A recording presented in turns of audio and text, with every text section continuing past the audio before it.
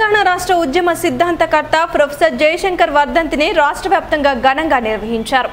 గురువారం జయశంకర్ వర్ధంతి సందర్భంగా నివాళులర్పించారు కేసీఆర్. ఆయన్ని స్మరించుకున్నారు. ఓయూలోని వివిధ విద్యార్థి సంఘాలు ఉద్యోగ సంఘాల ఆధ్వర్యంలో జయశంకర్ వర్ధంతిని ఘనంగా నిర్వహించారు. హన్మకొండలోని జయశంకర్ స్మృతి వనంలో ఏర్పాటు చేసిన కార్యక్రమంలో రాజ్యసభ సభ్యులు బండా ప్రకాష్ ఎంపీ సీతారాం నాయక్ ఎమ్మెల్యే వినయ్ భాస్కర్ జయశంకర్ సేవల్ని కొనియాడారు.